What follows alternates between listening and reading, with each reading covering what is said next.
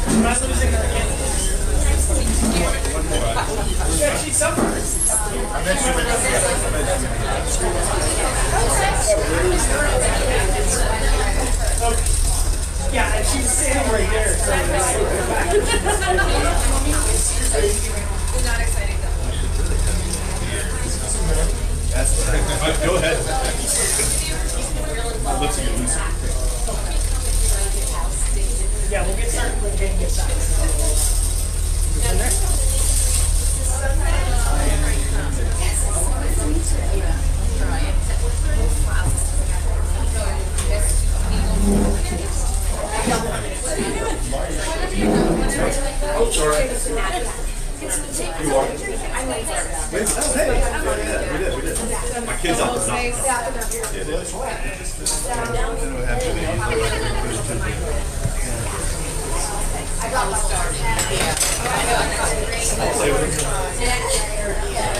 we did, we did.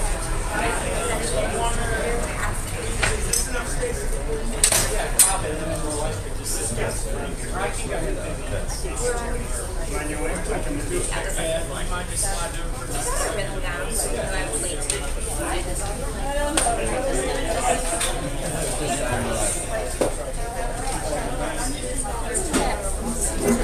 was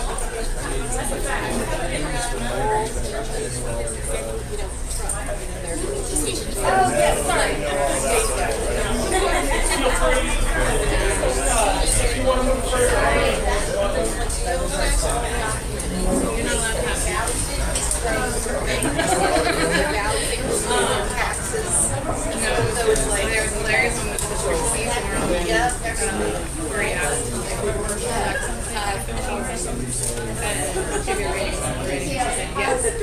So after like Corey had to shout for his movie the list. and then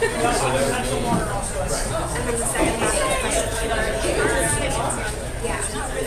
Okay. It seems like it was picking up. Yeah. Oh, I couldn't find my watch. No, thankfully, um, Oh no, Nathan was testing. I didn't get. I was on the analyze last ten videos and I kind of forgot it. I did get the sleep Which is not ever. Oh, One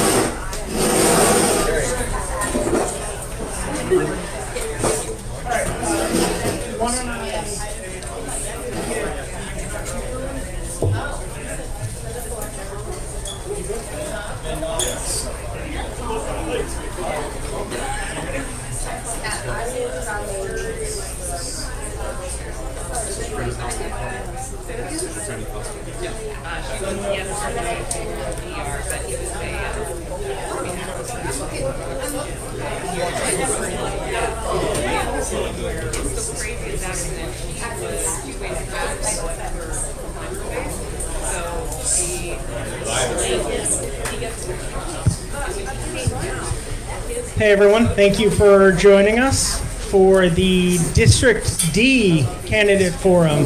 Um, uh, we this is hosted by Wake Up Wake County uh, in partnership with over a dozen of our awesome and incredible partners that uh, have come together to reach out to um, many, many of the folks that don't usually end up uh, turning over their ballot in uh, midterm elections. And we're hoping that we can reach more of those 250,000 expected voters to vote for local elections because of the the issues that these four people are going to tell you about why and how they affect your daily lives. Um, my name is Nathan Spencer. I am executive director with Wake Up Wake County. I've been instructed to do better about following my my uh, notes here. So. Um, I, uh, we have, if you need interpretation, with uh, Bach over here. Bach, do you want to come over and just let folks know uh, they need it? Si alguien necesita equipo de traducción para escuchar en español, estamos aquí atrás o levantan la mano y yo vengo y les traigo uno, ¿vale? Thank you so much. Thank you, Bach. Uh, interpretation is uh, presented by El Pueblo and provided by El Pueblo. Um, and um, uh, we are excited tonight because we have our moderator, uh, Robert Bob uh, Kuba, uh, Ku- Kuba, Kubak, um, who is he is the former executive director of the North Carolina Housing Finance Agency. Um, so uh, before we sort of go into full introductions, I, I want to do a couple. I want to say a couple things. We are extremely grateful to our sponsors, um, specifically Blue Ridge Corridor Alliance, uh, Hillsborough Street uh, Community Service Corporation, and AARP. Um, uh, WRAL is live streaming this uh, forum right now. Um, so this is going over on the web. So we are catching people who are not able to be here in person, and uh, they are going to be able to ask questions just like you. You have note cards over here um, at the back table where you can write a note and say, "I have this question." They um, can tweet or uh, send messages using hashtag VoteRaleigh22. Uh, so now our um, now for our moderator, uh, Bob retired after working as executive director of the North Carolina Housing Finance Agency since 1987. With over 45 years in a career in the career, he managed local, state, and federal affordable housing programs in Michigan, Idaho, North Carolina. Uh, we're pleased to have his expertise here. One of the benefits of having experts like this in our area is that uh, when we're asking questions, he is helping to very much guide what is affordability and how that works. And we're excited to have his expertise in this forum and being able to ask our candidates questions. Without further ado, let me introduce Bob. Well, thank you very much, Nathan. Uh, my name is Bob Kucab, and Nathan, I don't always use my last name because I can't pronounce it half the time, so not to worry. Uh, I'm very pleased to be with all of you this evening so we can talk about some issues of concern and importance to District D. Uh, I want to add that I'm also a, a proud board member, active uh, volunteer with Wake Habitat for Humanity, a single-family home builder, uh, and Wake uh, Up includes Wake Habitat for Humanity as an active member. So before we get started, I I have a couple of housekeeping things. First, turn off or silence uh, any pesky cell phones, anything else that buzzes. Second, to respect the uh, flow of the dialogue, please remember to refrain from applauding or commenting while candidates speak. You can interact with them after the session concludes. And candidates, when speaking, please pace yourselves, watch the time, and be courteous in exchanges. Uh, Civility counts. All candidates for city council run for two-year terms. Uh, In addition to voting on a district seat, everybody will vote on two at-large seats. and also for mayor. Uh, Tonight, we're going to meet the candidates running for District D. This is a seat currently held by Councilmember Stormie Forte, who is running for an at-large seat, and four people are running to succeed her.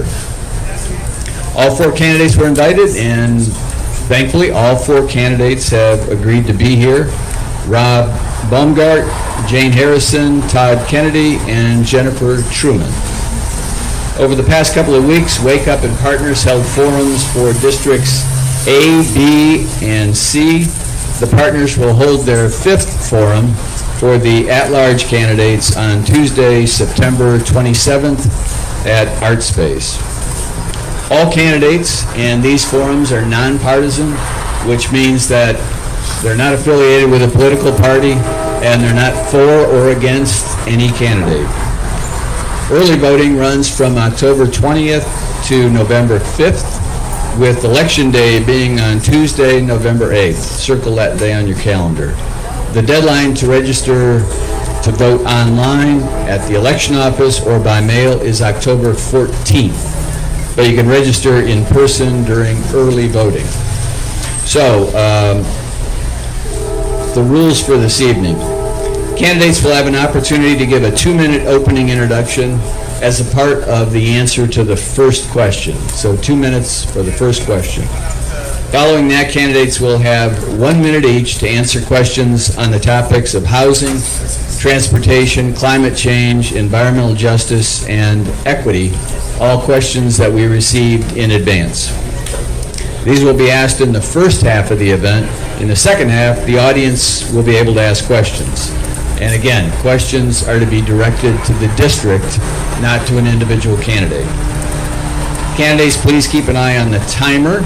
Our timer this evening is Brianna, and she will let you know when you have 30 seconds and when you stop. She doesn't play musical instruments, so we can't, can't play you off, but when you see the pink sheet, it's time. Following the prepared questions, we will address those audience questions. You should have received an index card when you came in. If you don't have one, raise your hand, and one or more can be brought to you. Again, questions must be addressed to the district, not a specific candidate. We may group questions if they're on the same topic, and we may change the order so that they're more randomly asked. Um, Again, please raise your hand if you want uh, a card. After the question period, the candidates will have one minute for a closing statement, and we recognize not all candidates may be ready to talk about every issue, so they may want to use their closing statement, to kind of catch up on any issue that they missed during the discussion. So, thank you for listening to all that. Ready? Good. Um, So, the opening uh, question will go to Rob, and then following questions, we'll start with the next candidate, so everybody gets a chance to go first and go last. So, the opening question is, candidates, please talk about the work you do in your professional and advocacy life that propels you to run for office, and how does your area of expertise contribute to benefit all the people in Raleigh? Uh, Good evening, thank you for coming, and thank you for uh, inviting us here and having us here. Uh, So my name is... Is that better? There we go. All right. My name is Rob Baumgart. Uh, I have lived in the district, or worked in the district, for the last 23 years. I came to Raleigh uh, because of NC State, and after my sophomore year, I started a small business that I ran in the Village District for a number of years and shut that down about two years ago. During the time of my business, when I had success and found success, I started buying rental property in town. Uh, my first ever rental experience was 25 or 26 years old with a fraternity house, which was a wild experience, uh, but a good one, uh, a good way to, to cut my teeth. Uh, I still live in the district. I live down on Lake Wheeler Road. Uh, I, I still uh, have a, a handful of rental properties in the district as well as in Garner, um, and that is my full-time profession now is investing in real estate. Uh, the reason I would like to run for city council, or the reason I feel like I could be good for city council, is I've had the uh, challenge of being a small business owner since I was a young man and was able to find success, which is difficult for a small business after five years. Most of them fail before you get a five-year mark, and I went nearly 18 years.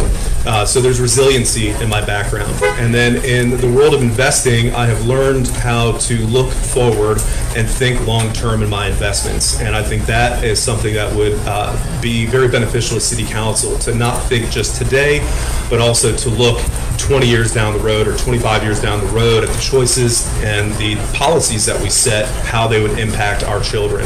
Uh, speaking of, I've got two children. They decided not to come tonight after my last speech. Uh, they said, Dad, you did great, but can we stay home? So uh, I've lived here 23 years, and I used to do my laundry in this very building before it was Trophy. Hey y'all, good to be with you tonight. My name is Jane Harrison. I'm running for Raleigh City Council to serve District D.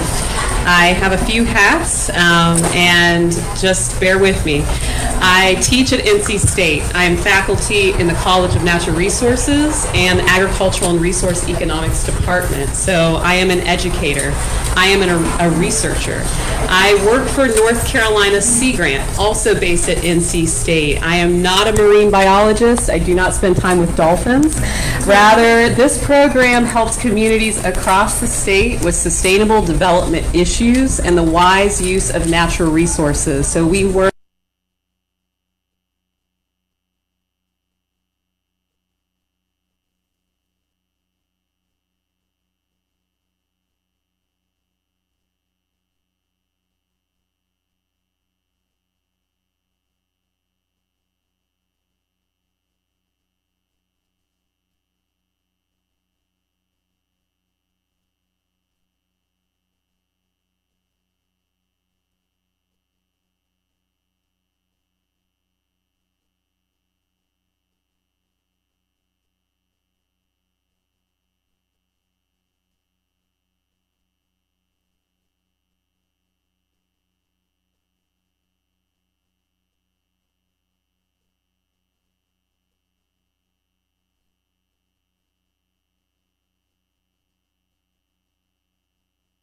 I understand, you know, the small business background that you need to understand what people, what entrepreneurs are looking for in the city. And I have a nature that truly cares about our community. My priorities are community-led development, affordable housing, and environmental stewardship. And in my experience, I'll get to it in a moment, maybe another question, um, I know that you all have a lot of wisdom to bring to the table, and so I'm just glad that you're here and that we can be part of this conversation tonight.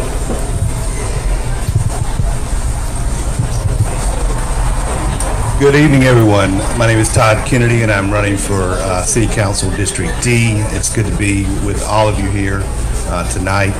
Um, Raleigh is a wonderful city. Uh, I have had the pleasure of living here for over 25 years.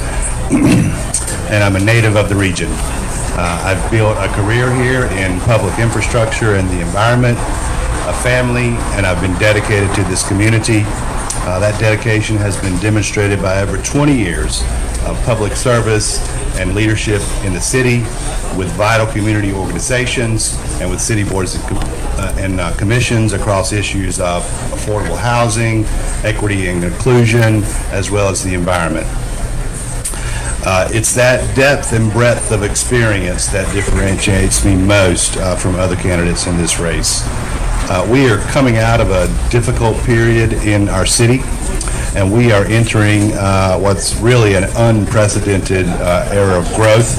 Um, I want to serve on council to shape uh, the city's responses to both the challenges and the opportunities that that presents.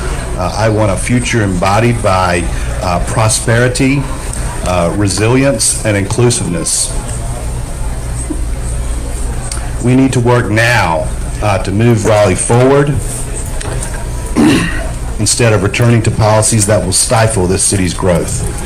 That is what this election is about, and that's why I'm running to be the independent representative of District D. Thank you. Hello. My name is Jennifer Truman, and I'm a designer. I'm a working mom, a community leader and advocate, and an optimist. That's why I'm running for Raleigh City Council because I believe, like these other candidates, that we're at a critical moment, but I believe optimistically we can grow into the future as a city. We can welcome new neighbors and also support uh, existing residents. I know that because I've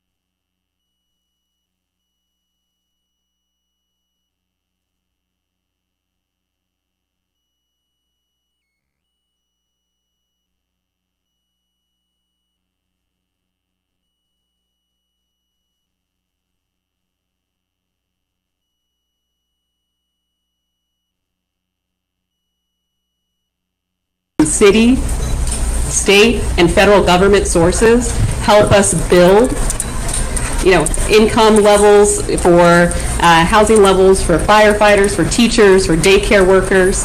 And then what I'm going to say, the three S, the third S is stability in the marketplace.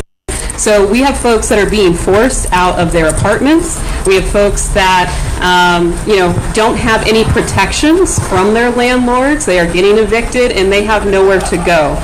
And so with more time, I'd love to talk about those three things and how do we work on them in tandem.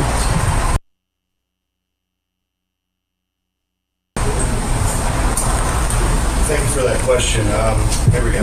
Mike, thank you for that question. Um, Our campaign has made affordable housing and a housing affordability uh, a a- priority.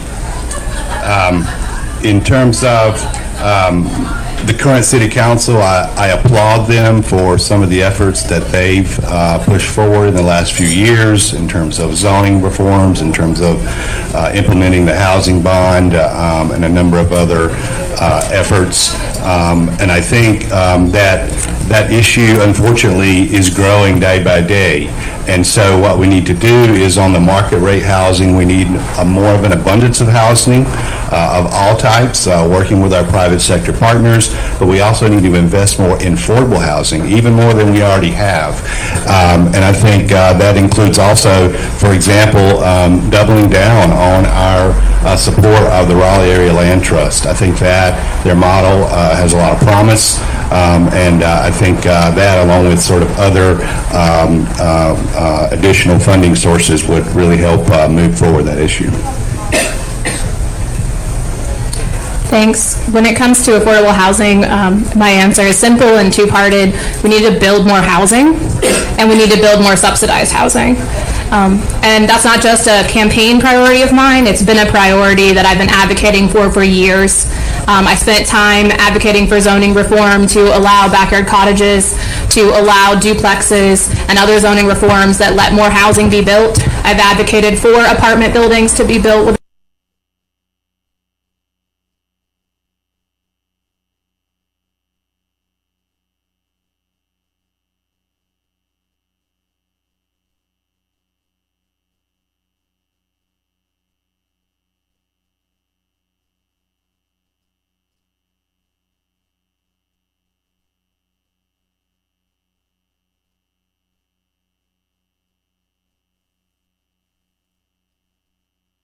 spend that bond money and build the subsidized housing as well. So following up, oops, I'm sorry. Rob, I won't take your time. You can start now. So, uh, as being a landlord for the last 17 years, especially in the last two years of COVID, two and a half years, I've seen the impact of housing costs affecting my tenants, affecting my neighbors. Uh, two points I want to share that are near dear to me. One is the uh, accessory dwelling units or granny flats building in our backyard. So, if you look at my website, we've got YIMBY written across uh, the city skyline. I would like to see uh, our, our citizens put these accessory dwelling units in their backyard. 28% of Americans live alone, so that statistic of the family of four needing to earn 80,000, there's a quarter of us that actually live alone without anyone, uh, and they could occupy those accessory dwelling units quite well. Uh, and the other area I'd like to focus on is along the bus rapid transit corridors uh, or areas that we have prescribed that, that should uh, have growth, that we make sure the city council uh, promotes growth and density along those corridors. Thank you all. So wading in just a little bit more, um, some federal and state and city subsidies take considerable lengths of time to really get in- into use. So there are communities like Chapel Hill uh, that are considering fast-track processing for affordable development, uh, streamlined permitting so that homes can be built more rapidly if they're going to be affordable. Uh, Now, I know there are reasons to, and perhaps not to do that, but would you support that approach if you're elected to council? Yes, I think it's clear that we need to bring um, more housing to market, both on the market rate side as well as affordable housing. And so I do think we need to uh, uh, reduce some of the barriers uh, on the market rate side. Um, And I think that can be done through, again, uh, some, some uh, process improvements in terms of the city. Um, But I also think on the affordable housing side, one idea uh, in talking with um, um, some folks in affordable housing um, is to, um, again, make a fast track for uh, that particular type of housing so that it gets priority in the city. Um, They get their approvals faster, and we get that, uh, those projects in the ground faster. Uh, Yes, I'd support fast-track permitting for affordable housing, um, and generally speaking, any reforms that allow it to be easier to permit housing in the city. Um, I work for an architecture firm. I permit things every day. Um, I know the folks down in that office um, pretty well, and the real hurdle to quickly processing permits right now is a shortage of staff. People are working long hours um, because they don't necessarily have the funding um, to pay competitively. Some people have left for the private sector in the recession. So on top of streamlining permitting processes, we also need to empower our staff and pay them well so that, that we can keep quality staff to allow us to do that fast tracking of permitting. Uh, Of course, I would approve or uh, support fast-tracking development uh, and the permit process. Having pulled permits in the past myself, it can be an arduous task, and if we can make it easier for someone who's going to bring more supply to the market, then I'm all for that. Uh, Also, if you look at my website, I talk about partner, plan, promote, and in this answer or question, I think promote is important. Uh, We have a group here, CASA, uh, right down on Jones Street, who provides affordable housing uh, for many people in our area as well as in Durham. Uh, we should promote them. We should work with them and help them who are able to bring on this kind of housing do just that. Um, Yes, I echo what everyone had to say. I definitely agree that we need to fast-track affordable housing permits, but we have to go beyond that, and we have to be bold. So one of the, I think, differing factors here in terms of policy, if you want to know how we might differ up on this table, is that when I'm thinking about private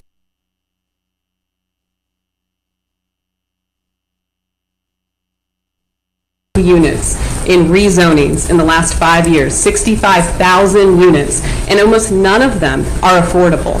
And so how are we working with the private sector? How are we working with the development community to ensure that there are some requirements for affordability? And I know that's a hard thing to talk about, um, but it has to be talked about. And it was talked about in the uh, Wake Up Wake County Forum for um, uh, District C. And the question that the moderator asks is, will you go to Jones Street with me? And yes, I will go to Jones Street with you because we have to talk to the state legislature. We have to work with the General Assembly to require, allow requirements for affordable housing when we rezone. We are rezoning all over the city, and if we do not require affordability, guess what? We won't have it.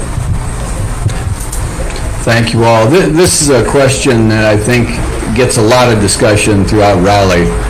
Uh, There are a lot of ranch-style homes being torn down and replaced with uh, very large, single-family homes priced four to five times the original house. Uh, What could or should be done, if anything, by the city to change what's happening and ensure mo- more of the existing housing stock, sometimes called naturally uh, occurring, naturally occurring affordable housing, stays affordable? Can, can we limit purchases by out-of-state investors? Um, I think that this is a, an issue I have a long track record on when it comes to advocating for what should happen rather than the big McMansions being built after a tear down. Um, I'm the only person at this table that fought for missing middle housing reform before it was cool. Uh, I think that we can't prevent what people want to do with their own property. We can't prevent people from buying. We can't prevent people from selling. Um, that's a freedom that everyone has. But what we can do is make sure that there are options for what can be built back. The reason that we have small homes being replaced by big homes is for a long time, decades and decades, that is all that's been allowed to build.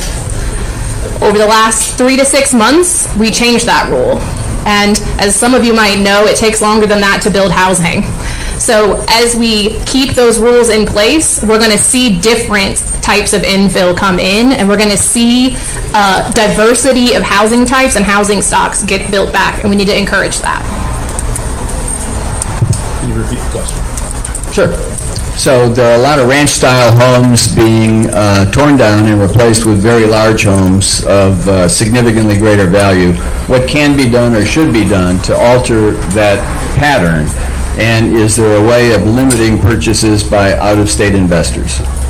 So the second part of the question I'll answer first. I do not think that we should limit the out-of-state buyers from coming in and buying. It's a free market society. If someone comes along and says, hey, I'd like to buy your property for this price, and the seller agrees, well, that's what America's founded on, is capitalism. I think we allow that to continue and don't mess with that. As far as the teardown homes uh, and the new McMansions, as uh, Jane called them, or Jen called them, uh, they're going to miss out on the ADU in their backyard. They build the entire lot, impervious surface is ate up, they want to go add a sidewalk and they can't do it because every square inch is used. Uh, as, so it's unfortunate for them. Um, but no, I would not promote or, or want to restrict out-of-state buyers.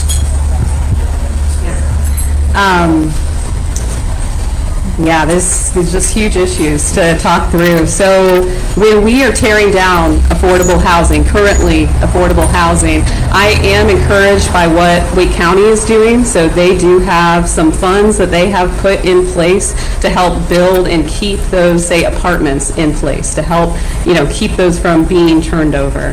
When it comes to a single-family dwelling, if someone is leaving because they are pushed out, because prices have risen so much and they cannot pay their taxes anymore, I have talked to folks down off of Mayview, um, who, or I'm sorry, Maywood, who are saying, I am paying $1,000 a month, um, I'm sorry, I'm earning $1,000 a month, I'm paying 700 a month in my mortgage, the property tax bill's going up, it's hard for me. So, you know, what are we going to do to secure and stabilize folks who want to stay in the area? I'm with Jen in terms of we need duplexes, we need triplexes, we need options, but we also need to have community conversations and true engagement about what that looks like and who it's being built for. Because when we're rebuilding, we are accelerating redevelopment of very, you know, pretty nice homes that many people cannot afford currently. So in terms of naturally occurring affordable housing, I think we need to put just as much effort into preserving those housing types as we do in building new affordable housing. It costs much less to preserve uh, uh, uh, an affordable house rather than uh, build a new one. So we should be, um, again, spending more time on that. Uh, Again, and and I refer back to uh, support for groups like Raleigh Area Land Trust, uh, as well as DHIC and CASA are all important groups in that regard. Uh, In terms of this phenomena of um, sort of investors coming in and- and buying up houses, you know, we're limited as to what we can do in in regards to that in terms of uh, lack of power from the legislature. Um, But uh, putting that aside, you know, I think one, one thing that could affect it if we, is if we just build more market rate housing of all types at all price points, that will put sort of downward pressure on prices, kind of fix that supply and demand sort of equation, and I think that could have a positive impact on this issue. Again, a, a question that is uh, circulating in a lot of areas. What is your plan for assisting long-term residents of Oberlin Village who are experiencing skyrocketing increases in their property taxes due to gentrification? Do you think that a program providing real estate tax relief for long-term city residents who can no longer afford to pay property taxes is appropriate for the city? I do. Uh, I would, I would be in favor of supporting that legislation or, or policy. Uh, also by age, if you are retired and no longer working in your, in your 70s or your 80s, and uh, the tax prices keep going up, well, we should carve you out and say, no, you're staying at the rate you were when, you know, you retired, uh, and keep it there. I'm, I'm all for that. Yes, we need property tax relief for folks that are struggling to stay in their homes. Um, I have been a member of the One Wake Coalition um, for years, and this is the group that I think has had the loudest voice on this particular topic. I have been down to talk to the Wake County Commissioners, to raise my hand, put my sign in the air, and say, yes, this is something we need. This is another opportunity where we do have to work with our General Assembly. Um, The City Council, we don't always have, you know, all of the uh, powers that we need, but we cannot not, we cannot also ignore the problems. And what I want to offer is a bold commitment to all of our residents of District D. Whether you're doing great or whether you're like, I don't know if I can stay here any longer. How can I maintain, you know, this wonderful community? Our social networks are so important, our jobs, being on the bus line. And I commit myself to being in those conversations and to advocating for these kinds of policies. So with regard to gentrification, with regard to gentrification, um, that's a phenomenon that's been going on for some time in Raleigh, and now it's just, you know, sort of in, in overdrive. Um, I think, you know, the role for the city here is, on the one hand, to help prevent displacement um, through, again, preserving naturally occurring affordable housing um, and building new housing. Uh, But on the second hand, I think in the cases where people are being displaced, I think we can give them more support, uh, perhaps requiring more notice, uh, per- perhaps resources um, to help them um, uh, uh, find another affordable uh, home.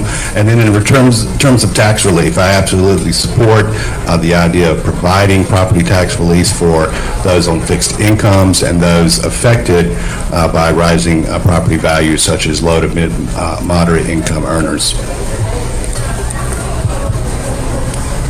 I agree that we need to expand the options that are available to folks that need tax relief, and to do so requires some work beyond what a city councilor or a group of city councilors can do. Um, It requires um, probably a slightly more progressive state legislature, so keep that in mind in November as well. Um, I think that the other thing about this issue is that some programs for relief and grants do exist to help people fix up their homes, um, to provide some relief, particularly for elderly residents. Um, and the word about them isn't out as well as it should be. And I talk a lot in every community I go to about how we need to increase our outreach as a city um, into the community centers, into the neighborhoods where people are. We can't expect everyone to come to City Hall. We have to go to them. And I think we really need to improve our communication, particularly when it comes to grants and, and relief programs, because if you're in a place where you need relief, you're not in a place where you can make it to City Hall.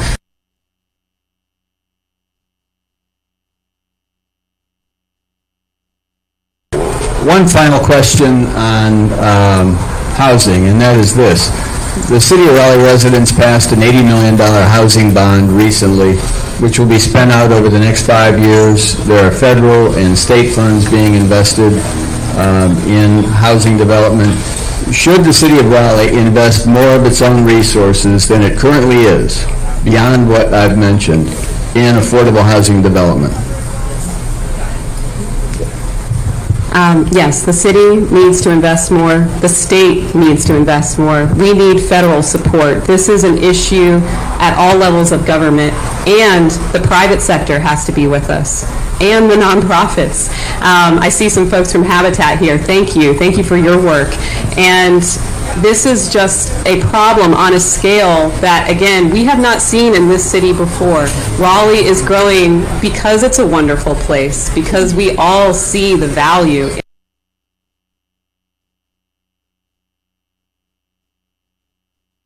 But at the same time, if we do not work on a scale at a level of uh, bringing these funds um, in, then we are going to push people out. That is what is happening. People are leaving. Um, They have to. So yes, I would support that, and um, I'm hopeful to see what the next council can bring in terms of that commitment. So, so I mentioned earlier, I, I think that the affordable housing sort of deficit is growing, and so we absolutely need to invest more resources. Uh, again, I do, I do applaud the current council for what they've done to push this forward. Um, you know, I think partnerships are essential um, in, in that. We can't solve the housing crisis alone here in Raleigh. We've got to partner with uh, the county, uh, neighboring communities. Uh, we need support from the state, and of course, as mentioned, uh, uh, the federal government. So I, I do think partnerships going forward are is going to be a key part of kind of bringing in additional funding. And I also think we need to acknowledge that at some point in time, um, uh, in the next several years, we're probably going to need another housing bond. And so we should start thinking about that. Obviously, we need to use the current uh, um, uh, taxpayer funds wisely, um, but I think that's on the horizon horizon.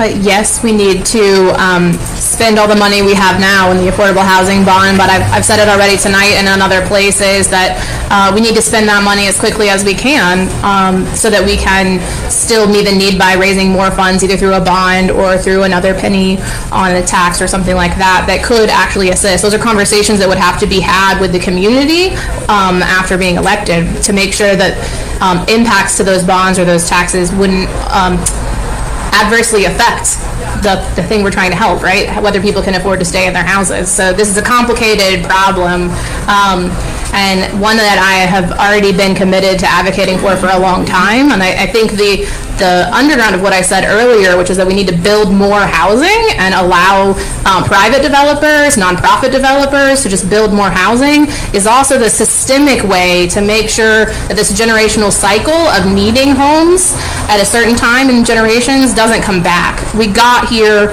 for a reason, and it was bad policy, and we need to make sure that we maintain the changes and the progressive good policy that means we won't be here again. So we were asked if we would, uh, or one of the uh, candidates up here said that there will be a new bond coming soon or in a couple years after we spend this bond over the next five years. In the last question, we discussed elderly people not being able to stay in their home when they're retired because the taxes keep going up. So I would, I would exercise caution and be very thoughtful over saying, hey, we need to do another new bond. Uh, one idea that was not presented up here on the board right now is the city has a number of vacant lots. We could release those lots to partners or private developers and, and public-private partnership and build more housing on existing land that the city's not doing anything with currently uh, as well. So, uh, another topic that comes up in places like Trophy Brewing, what do you think about the influence of big real estate developers on city council? Uh, Do you think they should be limited in their donations to candidates? Todd? Todd?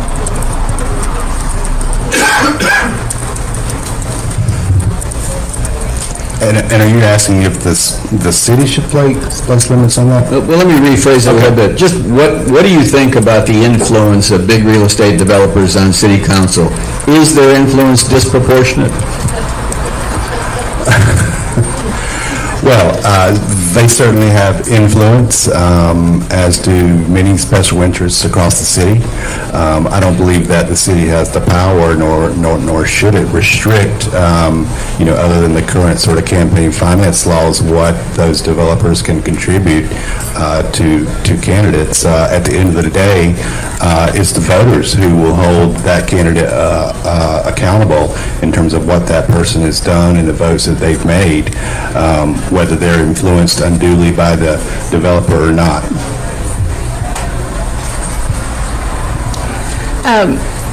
I think that this is a question we hear frequently because people don't understand how the process works for getting buildings built.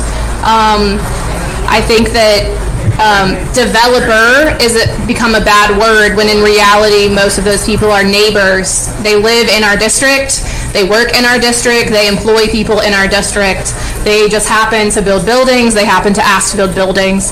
Um, and I'll add that the limit for campaign um, contributions for local elections is $5,600.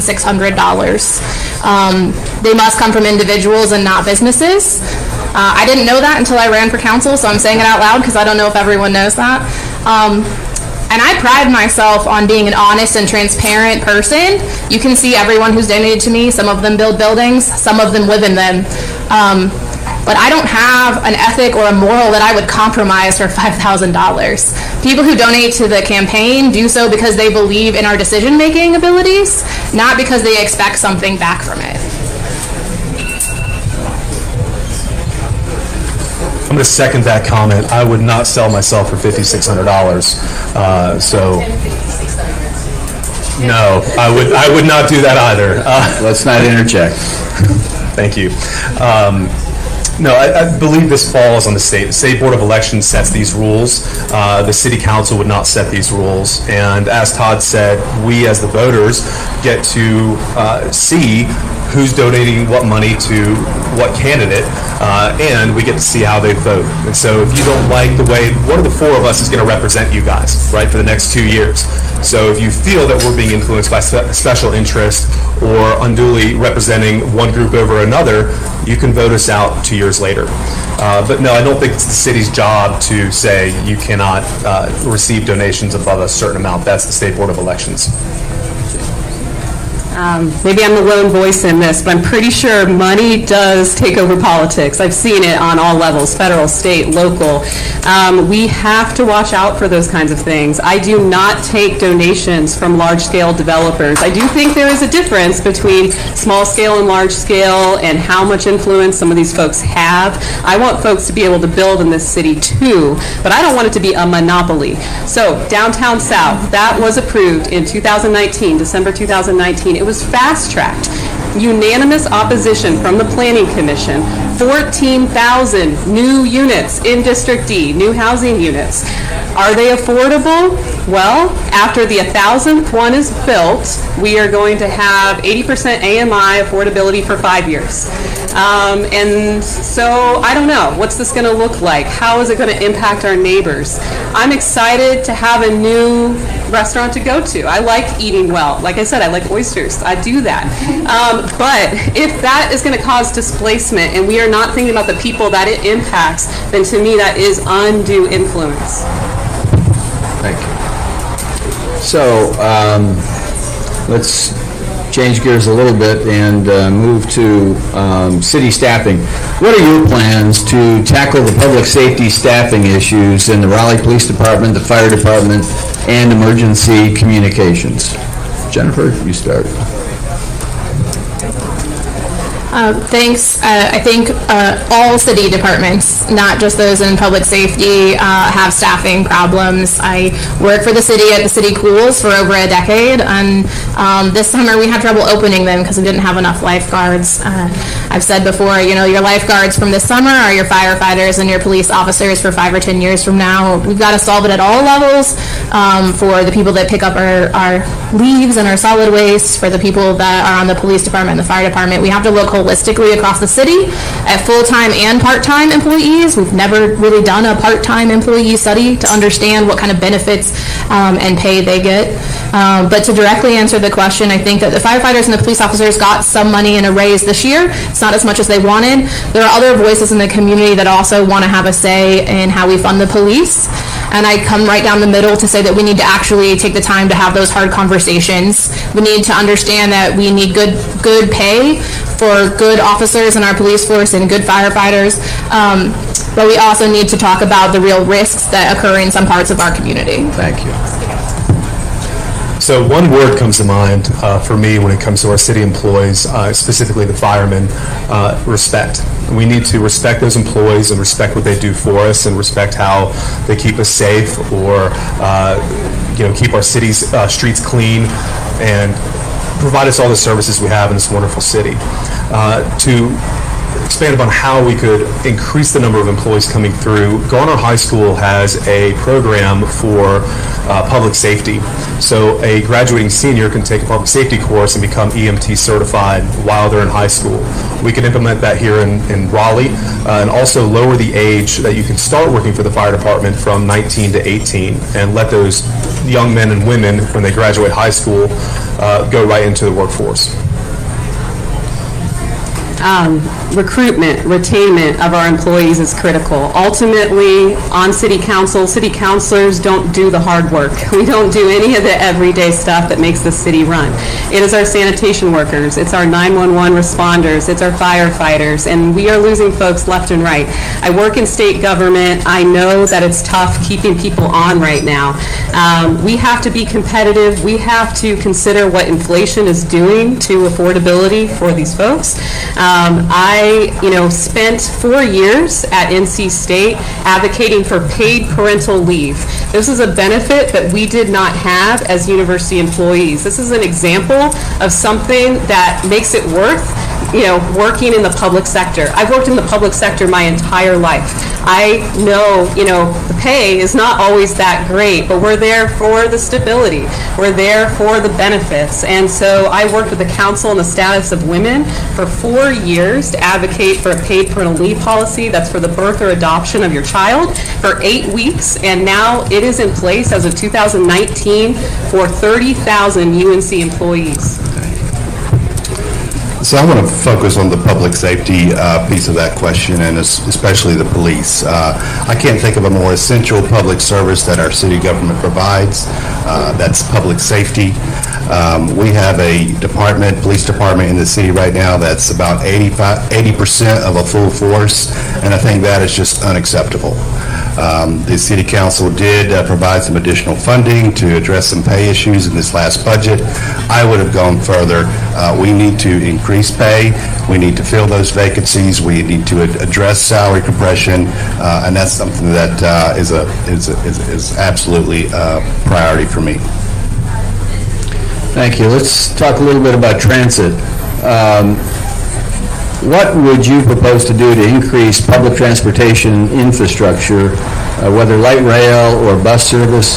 Uh, Would you continue to support and advance the 10-year Bike Raleigh Plan that was approved in 2016 for bike accessibility? And and in general, do you have any thoughts on reducing carbon emissions to address the climate issue specifically? So there's a number of different ways you can take this question. Um, the planning portion of it. So the people that do the planning and like Campo, uh, Capital Area Metropolitan Planning Organization, who've put the thought into this, or Go Triangle, who've put the thought into commuter rail, those are professionals, engineers, wonderful people who know what they're doing. So as a city council person, we should follow their guidance and work to see it to reality. As far as the commuter rail, Raleigh is going to encompass, what, 20% of the actual linear length of the commuter rail if it goes from Clayton over to Durham. Uh, It's not our decision alone. It is Clayton's, Garner's, Cary's, and we need to partner with those municipalities and the university. I believe there's three universities along that rail. Uh, And then the final part would be looking at partnering with uh, Uber or Lyft for final mile. If you haven't looked into that before, it's a really cool concept. You get off the bus at the bus station, and you can use city tokens to get on an Uber. Yeah, um, all of the above. We need everything to have other transit options. I bicycle to work. I'm a bicycle commuter. I used to take the 11L bus when I was not close enough in District D to bike. Um, the service frequency has got to be fixed as soon as possible. You know, my bus route, it came every hour. If I missed it, well, I'm waiting another hour. I have a member on my campaign team, when she comes 10 miles from north to south Raleigh to knock doors with me, it takes her an hour and a half on the bus. It's crazy. And so we have a lot of investments in the mix that I'm really excited about, and I have a feeling we all have some agreement there. But we also have to do everything we can to improve service today. So we have just lost frequency of service on at least 12 routes across the city. It affects the Method route in District D as well as the Carolina Connector. Um, They have gone down to an hour each every hour, and so we have got to work again on that recruitment and retention piece of our staff, our bus drivers. Are they getting what they want? Are we, you know, training them as we need? And, uh, yeah, that's, I'll turn it to Todd. So um, Raleigh's future needs to be a multimodal future, and we're making plans for that today, but what I'd like to propose is a comprehensive mobility plan uh, with a strong community engagement component that looks at the entire city and all of the different modes of transportation that we have now, and then uh, assess what the current state is and what the connectivity is. So for example, if someone wants to take a bike from one spot to another, say from their home to their job, um, they can do that in some parts of the city and some they cannot. And so that would be part of a sort of a comprehensive strategy and sort of funding model. It would, it would, it would include uh, and sort of incorporate the, the, the, the, the bike Raleigh plan that you mentioned here. Um, and I think that's, that's part of the solution for, for getting to where we want to go. And that's going to tie in transit, um, roads. We, you know, you know, we're still uh, dominated by cars, so we're going to have to still maintain those roads and build more bike lanes, sidewalks, um, and um, uh, I think that's uh, a plan we need to take. Uh, this is a, a good question and an important one for our city. It's one of my priorities for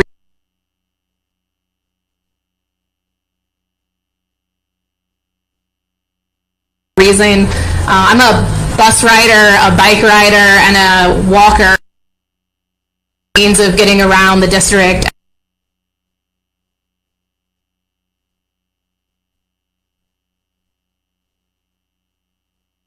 is that the DOT refused to put sidewalks on and, and do that regularly and to this day. Um, I think that we we have two parts of a plan for transit. One is a big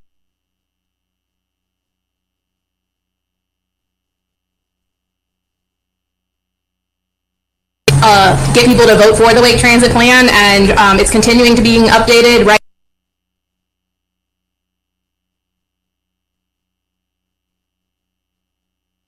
system. We need to keep doing those things while we get back to basics. Our work plan for the Raleigh Transit Authority, um, several of us, including myself, spearheaded getting maps back on the bus shelters, branding on the signs, and talking about those sidewalk gaps and benches over the next year. So we have the basics, and if you want to talk about bus operators, that's way more than a minute, but I'm happy to fill you in. Thank you. So uh, let's talk trash. So how do you propose we divert trash from public spaces, events, and the new social district? Should Raleigh be moving from single garbage cans to dual or triple stream waste stations? And this I found out is where you have waste and then paper and then recyclables in uh, separate bins. Uh,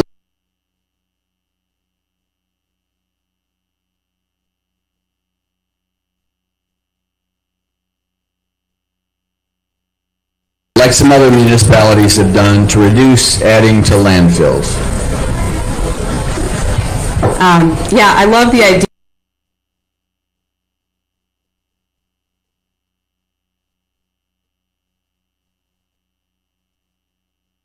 Asking them to, it seems easy at times, but you you know, you'd wonder. I would also advocate for composting service um, through the city. Um, I think that would be so wonderful. We have so much waste, unfortunately, that comes. And so all of these pieces are critical, and I'm going to turn it to Todd.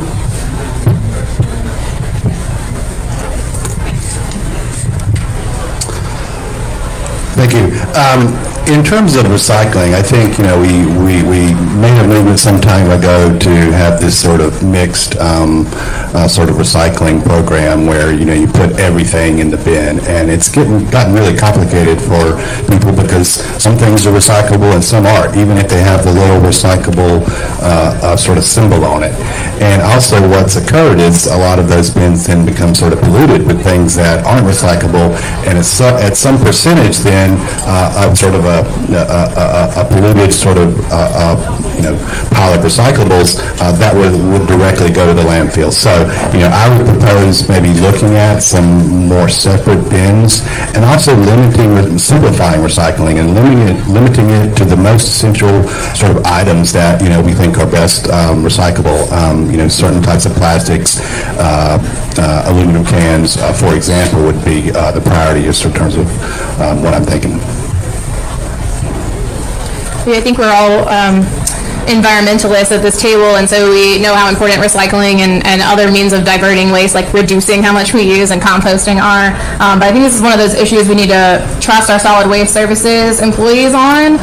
Um, we have automatic trucks that reduce labor and reduce costs to collect our single stream recycling um, that we've invested in. So we need to really take a look at what that what um, impact changes would make to that. But there are other programs like composting. I was one of the original Compost Now customers, um, and my chickens help me compost now, um, actually in my own backyard. And I think that um, the other, like another thing that um, Councilor Crowder tried a couple years ago, which was a pilot program we could bring back, is um, cloth recycling. So actually, quite a bit of our landfill waste was going to fabrics and cloth. Uh, so I think we really just need to maybe take another look at that as we come out of the survival mode we've been in the pandemic and think about what options for moving forward there might be. So I believe in your question, you commented on Glenwood South and, and uh, having trash cans out there. Uh, there is, uh, one of our sponsors tonight is Live It Up Hillsborough Street. Devin's back here in the back corner. So one of the Live It Up Hillsborough Street's primary responsibilities of their business improvement, di- business improvement district is to keep the street clean.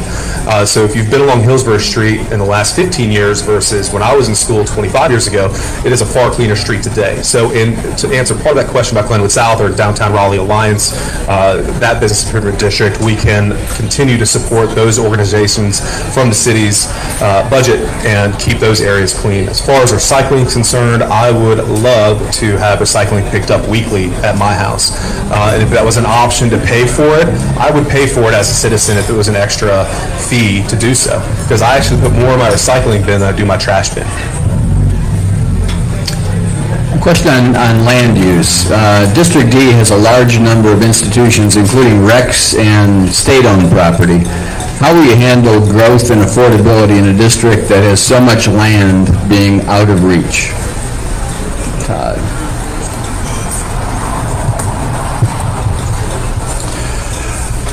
So I think back to partnerships here. Um, there may be opportunities to par- partner with some of these large landowners. Um, you know, we all live in the same community. We all have the same goals. Um, so I think that's a conversation worth having.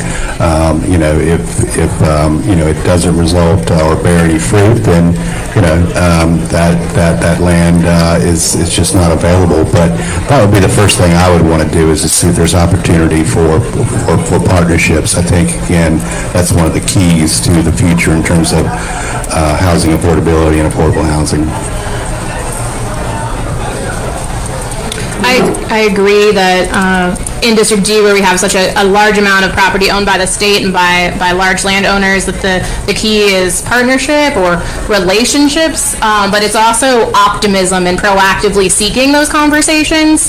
Um, for example, um, on Lake Wheeler Road, as the Southwest Community Engagement Forum, we organized, along with the state, private developers, some of the city employees working on the Dix Edge study and the Dix Conservancy, um, a meeting where we talked about all of the different projects that were happening on the street. We did that as community members because we felt the need to proactively talk about the issues that were facing that part of the district, even with uh, folks from the State Farmers Market and Dix Park that are large properties at the table, because sometimes the small details fall out in those large plans, and it takes neighbors to remind you of them.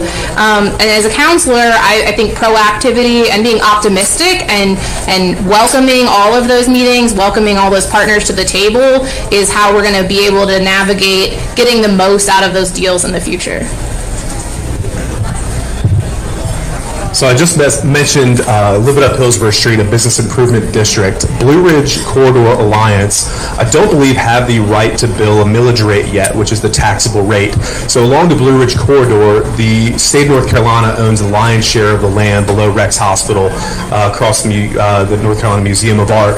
That was supposed to have been turned over to private development through Project Phoenix, uh, I believe five, six years ago, and then it fell apart when uh, McCrory lost and uh, that was, was taken away. So when you're voting this uh, November 8th, think about that as well. We did have a plan in place to release a lot of that land from the state back to private development. Had that happened, the Blue Ridge Corridor Alliance would have been uh, an already operating business improvement district with clean and safe street programs like we just mentioned about the trash. Uh, and on my website, I talk about partner, plan, promote. We do need to partner with our neighboring cities as well. Garner is a stone's throw. Some people in Garner live close, closer than people in North Raleigh to our core. Uh, so partnering with Garner or partnering with Cary uh, would help us as well. Yeah, I want to echo um, just what I'm hearing from Rob about the Blue Ridge Corridor Alliance, the role that they play in that area. Um, You know, uh, we have a lot of public lands, too, that we do want to preserve. So, you know, Dix Park, for example, is just an amazing treasure, an amazing gem of, you know, relatively undeveloped space. I mean, most cities don't have that kind of space. And I think that is what draws some folks to District D, is having that space. But where it makes sense, and we can do mixed-use developments, where we can have walkability from businesses to apartments to, um, you know, our workplaces, those are the areas where I'd like to see growth. And I restarted the West Raleigh uh, CAC last year because I knew that we needed to have these kinds of community conversations about what's coming.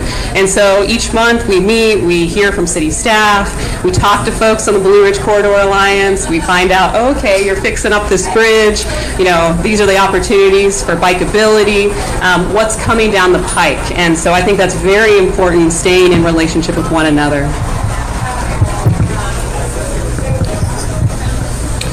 So now we're going to turn to uh, questions from the audience, and if you haven't had a chance to uh, write one down, please feel free. We can do our best to try and get some of these topics uh, addressed.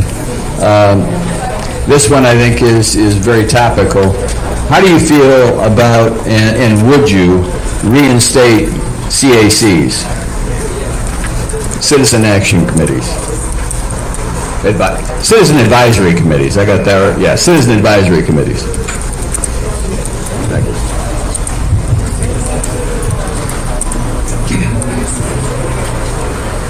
So when the city council disbanded uh, CACs, uh, I think it was the way they did that that really created a lot of sort of discord and divisiveness.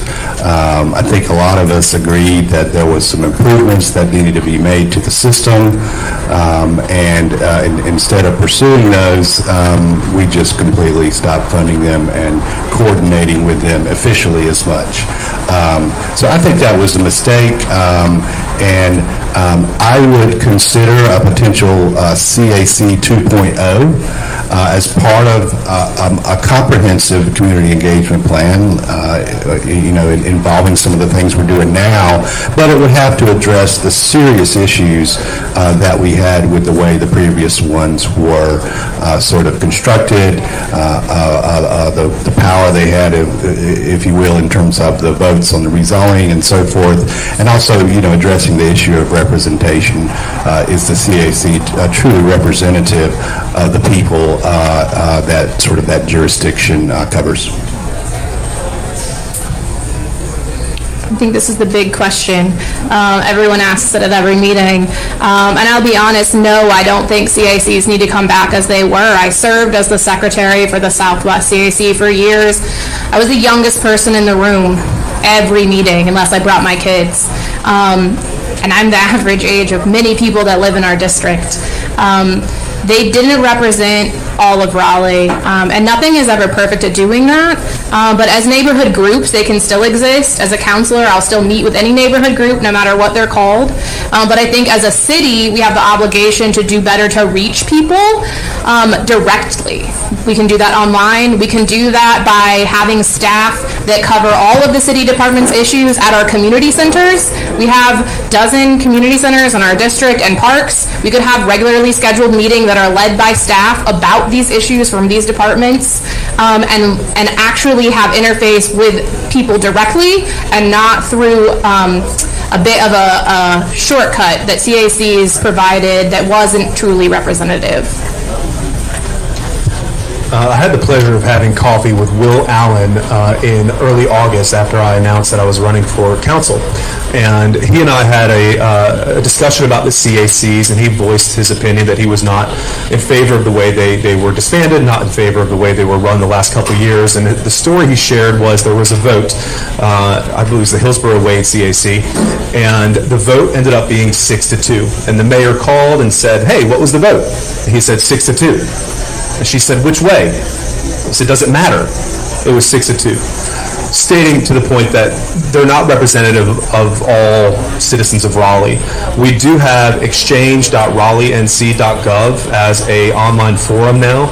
Uh, it is 2022. Most of us are able to get online and read and type and, and you know submit comments and review comments from others. And I think we continue to promote that exchange uh, for ideas and encourage uh, neighbors to get on it and, and be involved.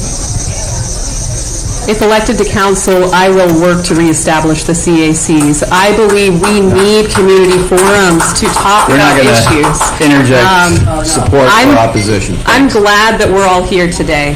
I'm glad that I'm hearing from Todd, from Jen, from Rob, because they have ideas I haven't thought of. I'm hoping that I'm bringing something to the table they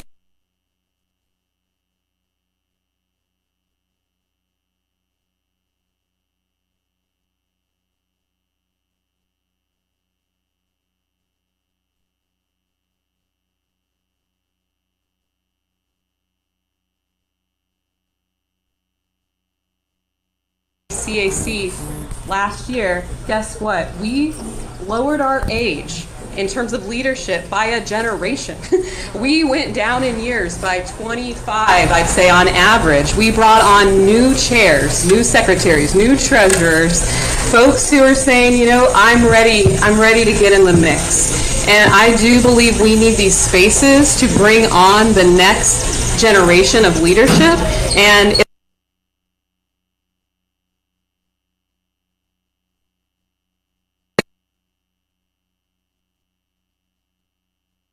forward what this community looks like.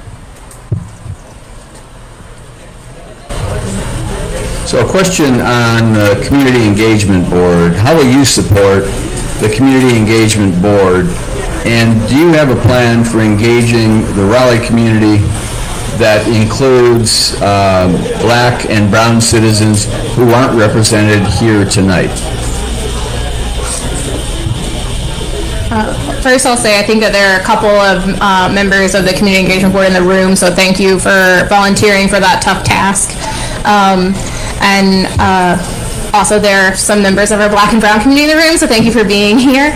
Um, we need to do a better job of outreach as a city and also as deep engagement where we have a two-way communication. Um, as a designer, that's what I do every day is talk to people about what the potential challenges are, what the assets they bring to the table are, and how we can mix those up and create a solution together.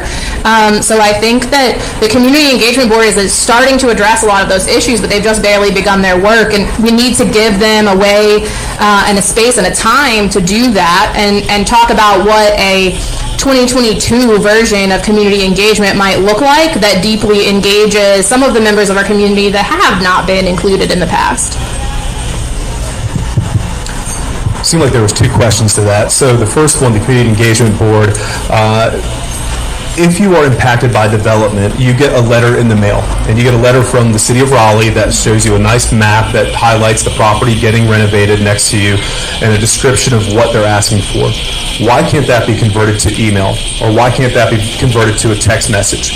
We are living in 2022. We have plenty of smart people in our, our uh, city that work for us, and uh, the citizens that live here in District D specifically are very well educated.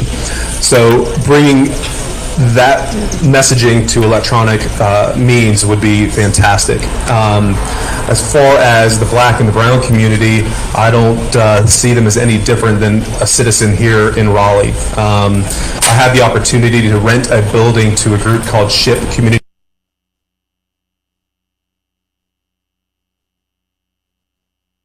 given to them from uh, the Food Bank of North Carolina and some other partners, and then they give those to local churches. They also have a small grocery store, uh, but they're, they're now in District D, and my time is up. I'm excited about the Community Engagement Board and what they can do. I know there are a few members here that represent that group, and thank you for your service. Um, you know, one of the reasons I think that CAC struggled is they didn't have a lot of structural support. They didn't have, um, you know, a department that was providing leadership training, professional development. Um, there was very few, you know, financial resources put into it. So I'm excited to see what, you know, putting a little money behind it, maybe hiring the community ambassadors throughout the city, what that can do to bring new voices to the table and to have these community groups that are run by the community.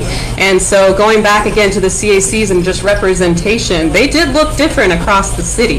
Depending on what neighborhood you were in, they were run by different folks. And so I just, I just have to push back on that. But I appreciate the question and I'm excited to see what we can do on all levels for community engagement. Well, this is something that Jay and I can agree on. I am excited about this new uh, Community Engagement Board. Uh, As someone who has served on a number of city boards and commissions, uh, again, I applaud their service um, uh, and look forward to uh, their additional recommendations for how to improve community engagement in the city. Uh, I am also uh, very happy to uh, see the new Digital Connectors program being rolled out, uh, and I think there's a lot of exciting things sort of coming out of that office and out of that board. Um, In terms of um, uh, underserved and marginalized communities, I would say that we absolutely uh, need to uh, seek out and amplify their voices. Um, We need to find um, new and unique ways to reach out to them. Sometimes uh, that may be actually physically getting to them, and I understand that this new experiment with the community engagement bus may be helpful in that regard. I look forward to seeing how that works. Um, But we need to find a number of different methods that are convenient um, and um, that are accessible, um, as many as possible, so that uh, not only marginalized uh, and uh, underserved populations can have access to services and programs and engage, but uh, for all of us, really, uh, to be able to engage effectively. Thank you. Thank you. So if you're elected, what would you do to work harder negotiating with developers who need rezoning to make sure that they include thousands of affordable housing units uh, with good, long, 30-year affordability in their developments? And how would you ensure that they are uh, held to that challenge uh, and that they comply with city requirements?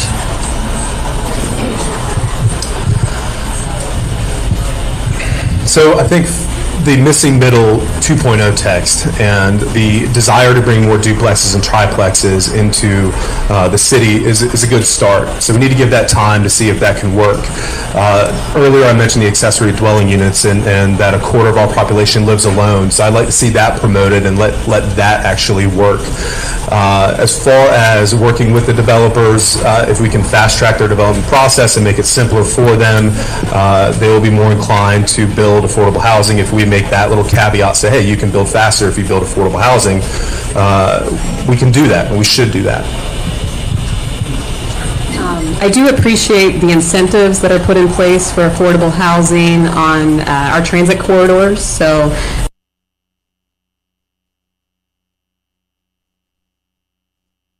you have to also put in 20% affordable housing. Um, And so that's an incentive-based program to get our developers to, you know, kind of help provide that. That's one way to do it. When it comes to rezonings and, you know, what we can do as a city council, again, we have to work at, you know, multiple levels of government here. So we have to talk to our General Assembly about what can be required, and we have to ask for it. You know, if there's a rezoning coming that goes against our comprehensive plan, um, where there is significant environmental implications, where the community benefits are not clear. You know, these are entitlements. So when we are upzoning properties, we are essentially providing, you know, a lot of profit to somebody. Hopefully, it's a lot of housing and a lot of community benefits to us at the same time. And those are the questions I'm going to be asking. So, um, at the present time, um, there are some legal restrictions for us to require um, affordable housing as part of a rezoning developer proposal. Uh, all powers that the city has comes down from the state government, um, and the guidance that I've heard and read says at the moment we cannot require that. However, uh, if you've noticed, uh, as part of the conditions of a number of larger developments, um, developers have offered up affordable housing as sort of part of the conditions to get their rezoning. Um, so uh, they um, And so I think we need to continue to work with developers because because they're members of the community and partners with us in this on that in that regard. I do think we should leverage these density of bonuses in uh, the uh, tr- uh, transit corridors. I think that's going to be uh, an important tool going forward. Um, One of the concerns I have though about some of the affordable housing commitments is that they're typically for a very short time period, uh, 10 10 years, for example. Um, That's going to come and go in no time, and then what what are we left with? And then one more comment, one more idea um, is perhaps an additional affordable housing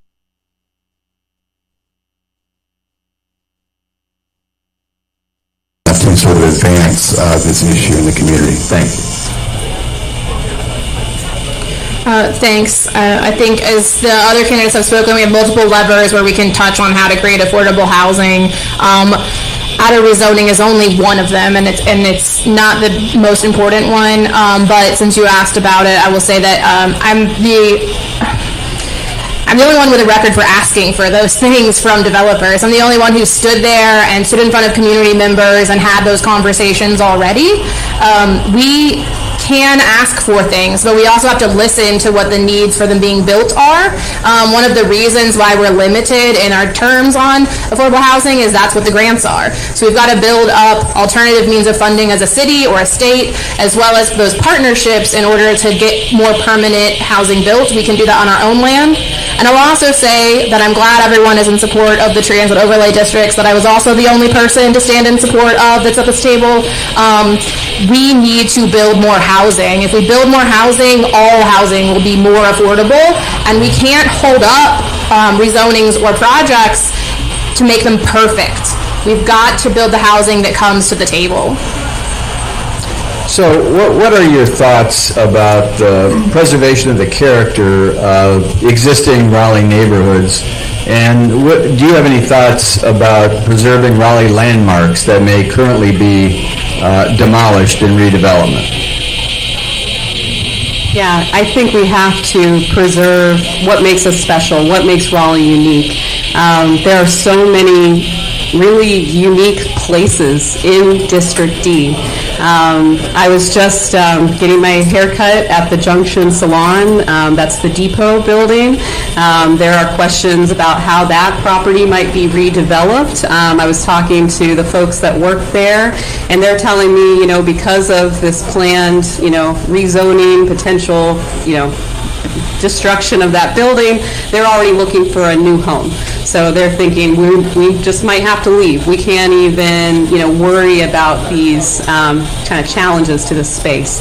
And so I think if the next council can show that they have a commitment to these special places, um, hopefully that will give our businesses some sense of, yes, you know, I, I'm going to be able to maintain, you know, this, this place. And our communities are going to feel like, yeah, this is my neighborhood too. This is, this is what I want it to be. Um, so devil's in the details. I know it's tough, um, but that is something I am committed to. So last evening, I was uh, at the Players Retreat, uh, a Raleigh institution. Um, I want that place preserved. Um, I don't want to see it uh, torn up and turned into something else. Uh, I've been in Raleigh essentially, you know, going on, you know, three decades now, and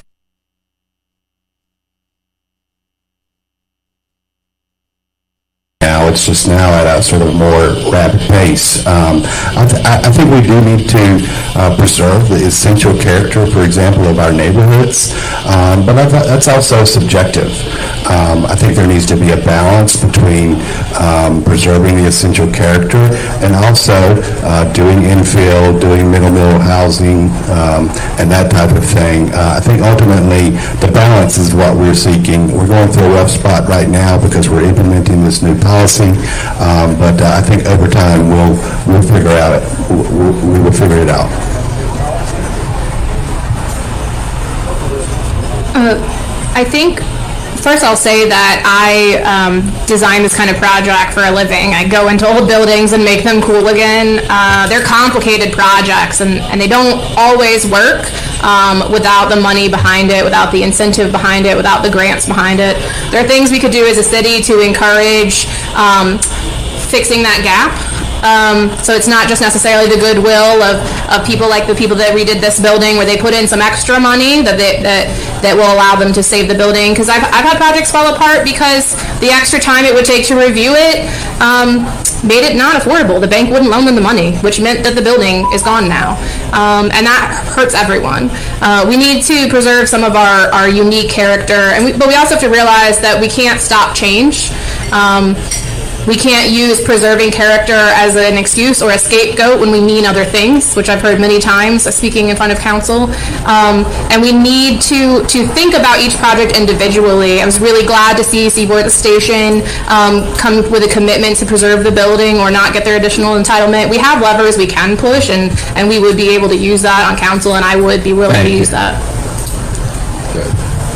I have some personal experience with uh, historic preservation. I lived in Boylan Heights for a number of years. Uh, One of my old tenants is in the audience tonight, uh, and I had the joy of being able to renovate those homes.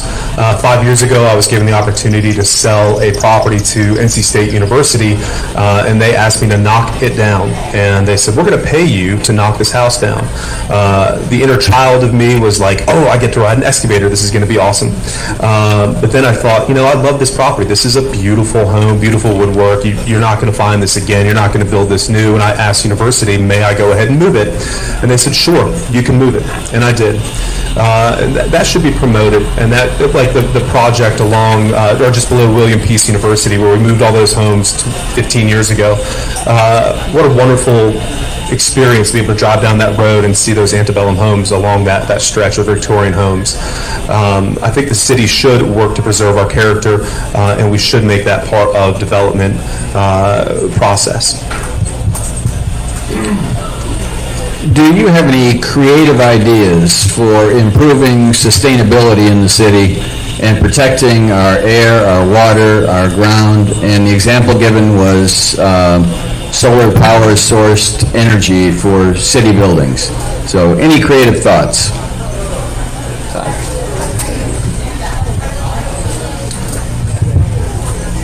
So, um, I'm, I'm going to talk about the climate action plan for the city of Raleigh. Um, I was a member of the environmental advisory board who worked on early sort of components of that, and I'm really proud that uh, the city has adopted that plan, and now we need to move forward and aggressively implement that.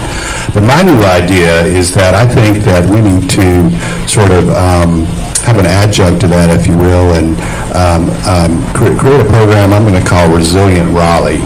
Uh,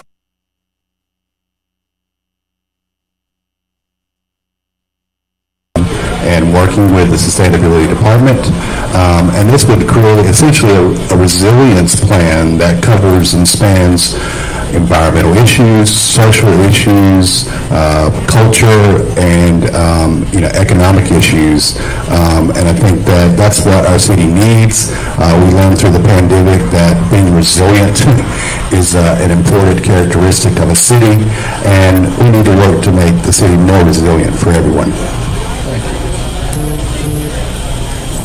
Uh, Certainly, the city has a climate action plan, and there are a lot of good initiatives under that plan for solar power, um, uh, and you can get money for that now. The program has started for um, uh, other aspects of sustainability that I'm sure folks will touch on, but there's one thing missing um, from that plan. It's like a subpoint of a subpoint of a subpoint, and that's urban agriculture and local food systems.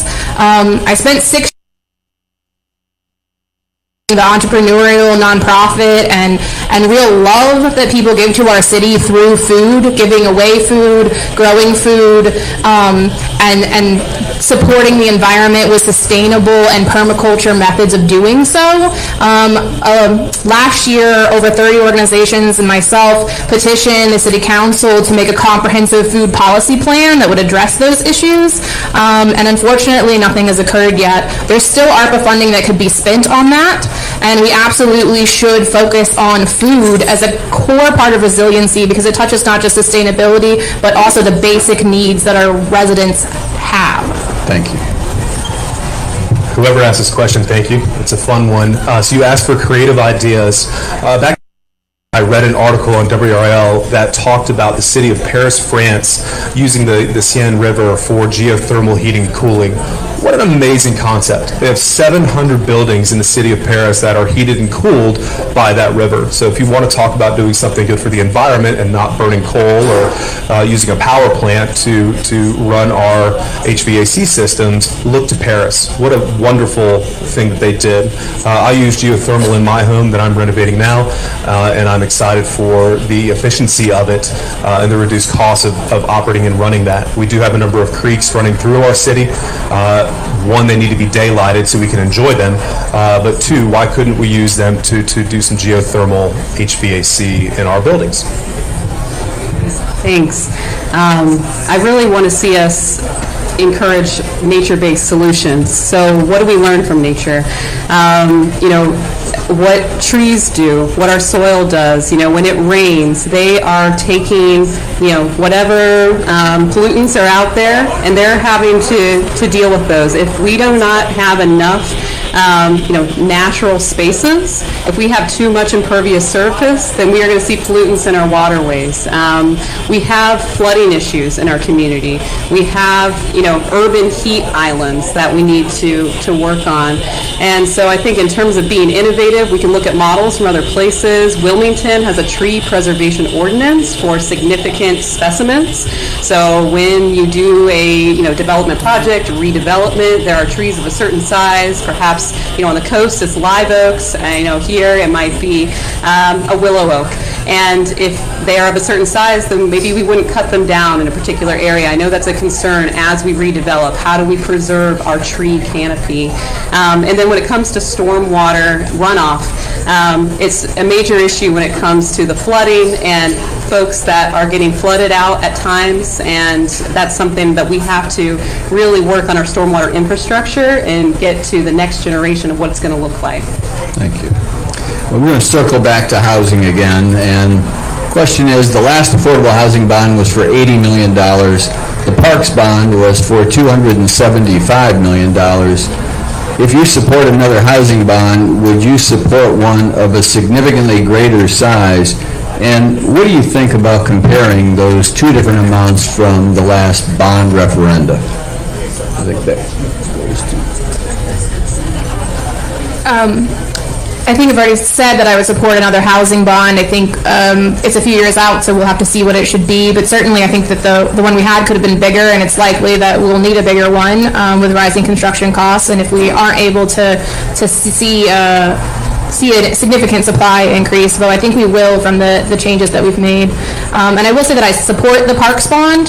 Um, I don't think it's a fair comparison to compare the two amounts of money um, because the breadth of the Parks bond includes over 20 projects in every district of the city, particularly in South Raleigh and Southwest Raleigh and District D and Southeast Raleigh and District C, in parks that have been traditionally underfunded. Um, in our own district, it includes improvements to Method Community Center. It includes improvements, a very small amount for Dix Park to help fund that, but uh, improvements to Lake Wheeler Road so that people can actually get downtown from our part of town and to the park uh, from south of it. Uh, there are a lot of equity issues that are addressed within the Parks Bond, and, and we all know from how much time we've spent outside over the last few years how healing uh, that can be. It's, it's Thank you. equally important as housing. Thank you. So I would agree, I don't think it's fair to compare the parks bond to the housing bond, but the question was, would you support a larger housing bond going forward? And I would like to, to be thoughtful about that before saying here in 2022 that yes, we should have another housing bond. No, let's see what our density uh, changes that we've made in the transit overlay uh, district or the ability for ADUs to be built or the missing middle text. Let's see if we can't naturally solve this housing crisis by increasing the supply. Uh, the demand is going to continue to be there because Raleigh's a wonderful place to live, and uh, I don't think we will have people decide to leave here um, anytime soon. So I'm going to I'm going to withdraw saying yes, I would support another housing bond or not until we get to that time and we have real data for what the changes we have now uh, are have made. I support parks and people. So I am supporting the Parks Bond because it does bring a lot of benefits to our district. Dix Park, Devereux Meadows, um, Lake Wheeler, our Greenway system, Method Park. These are investments that if we hold off, they will only get pricier with time. So we have to make those infrastructure investments now. Now, I say that I am supporting the Parks Bond as an I will vote for it. But that is up to every individual in this city to see that value. And as I've said earlier, there are folks who are going to find that cost challenging. And so that's that's real. Um, in terms of the difference in, in amounts of investment, you know, from affordable housing to parks, I think they should be at least comparable. We have to put more money into affordable housing. Now, again, where does it come from? Does it come from the city?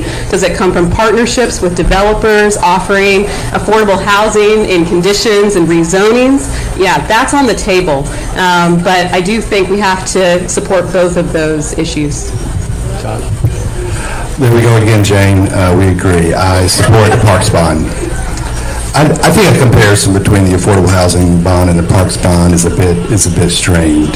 Um, these are different parts of mo- pots of money used in different ways. Uh, the affordable housing bond helps us leverage other funding, and so that's one key difference. Uh, I, I think also, um, being a large city like Raleigh, we, we have to do lots of we have to have lots of priorities and do lots of things uh, together at the same time. Um, in terms of uh, an amount for a future uh, affordable housing bond, obviously did mention earlier that I think at some point we, we, we will need one. Uh, I don't have a position on what that amount will be. I think it's too uh, it's too soon to say. Um, and I'll mention another couple of things about the parks bond. Two reasons I am supporting it is one, it has some essential equity uh, uh, components uh, for parts of our city, and so that's something to keep in mind, and just kind of ties into the larger issue there.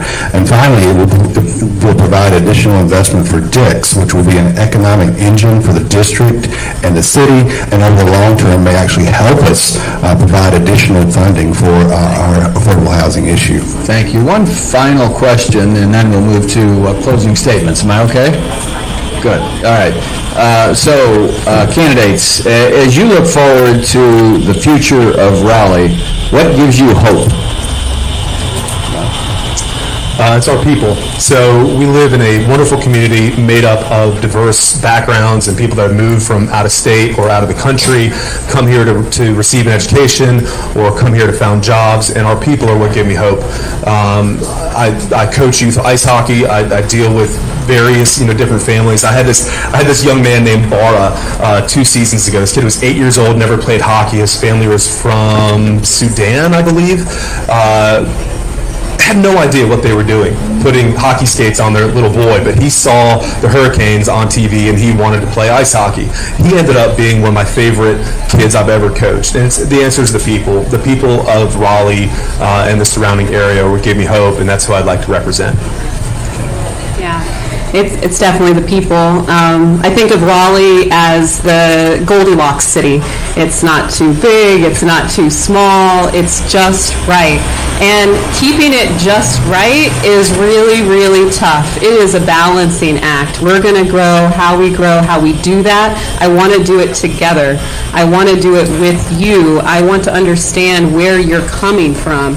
And so in, you know, running for council, you know, I am thinking about, you know, my neighbors. Every day that I'm not here doing these kind of forums, I am talking to neighbors in Renaissance Park. I'm knocking on doors um, in West Raleigh.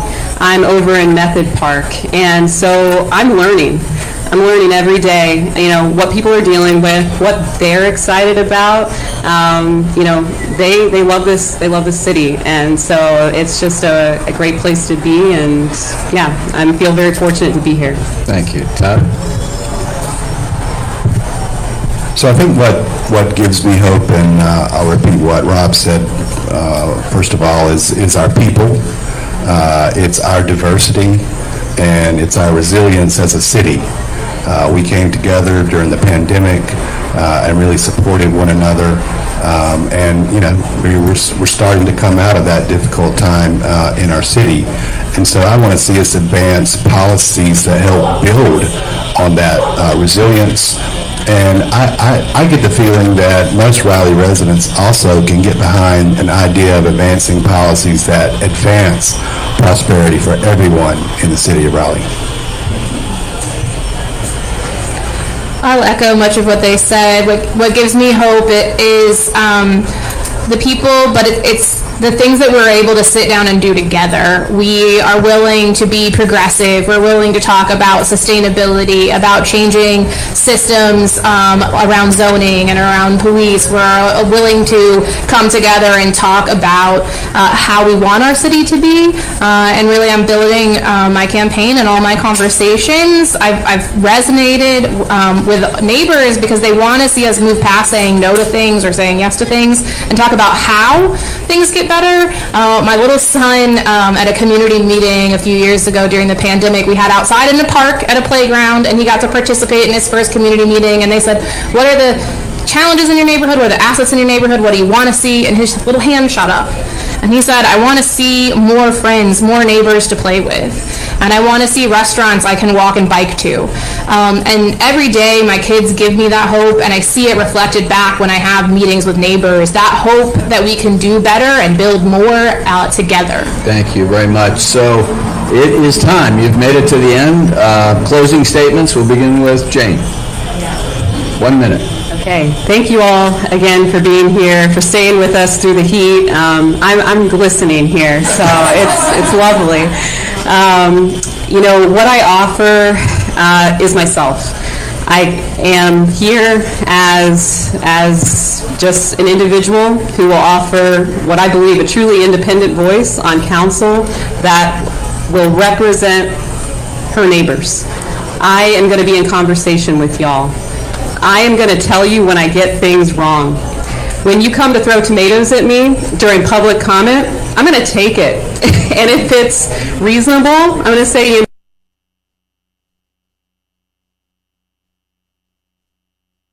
I think we have to have that opportunity for dialogue. And I'm going to tell you again, when I've got it wrong, I'm going to say I'm sorry, and then I'm going to try to do better. And if you all are willing to do that with me, then I look forward to this November. And if you want to go for someone else, I'm going to take a great vacation. Um, but it's wonderful to be here with y'all. Can I clap now? Not yet. So, in, in close, Raleigh's future is bright. How bright that future depends on what we do to steer it in the right direction. We need to push forward policies now that make Raleigh more prosperous, more resilient, and more inclusive for everyone. This campaign is built on ideas to make that happen. It's built on a style that seeks common ground and an elevated tone because we have got to get beyond the discord and divisiveness.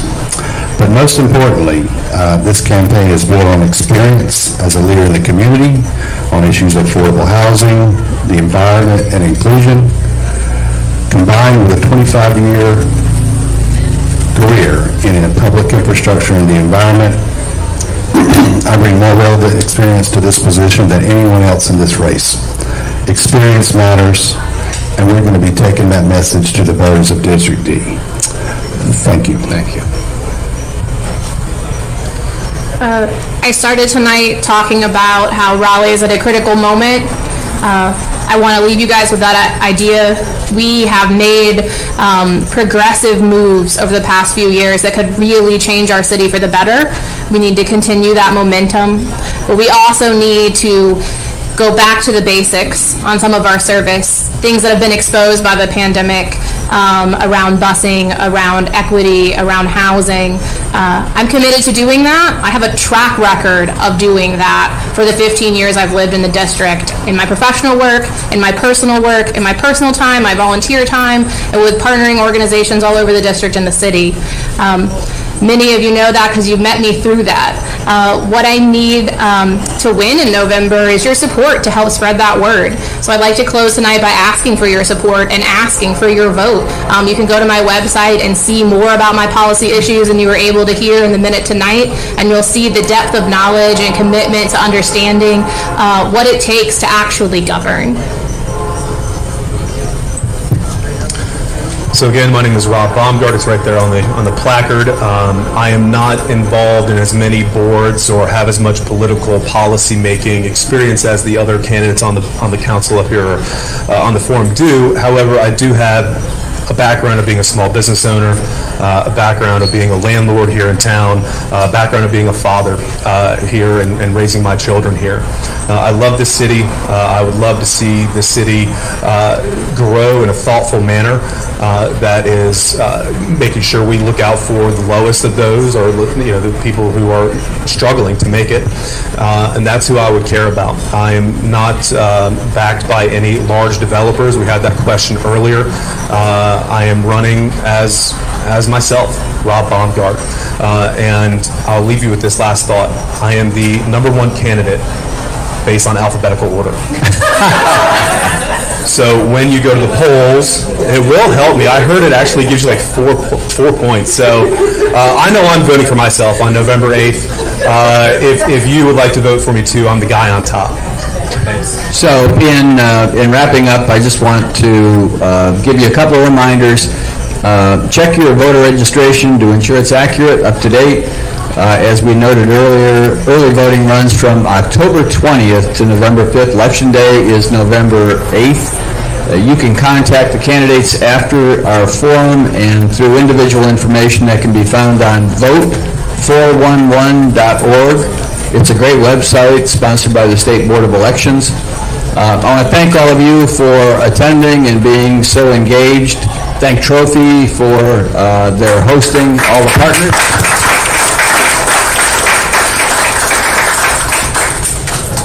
Certainly, nothing goes together like uh, beer and politics. And uh, I want to thank the candidates uh, deeply for putting themselves forward to serve the citizens of Raleigh. Rob, Jane, Todd, Jennifer, thank you very much.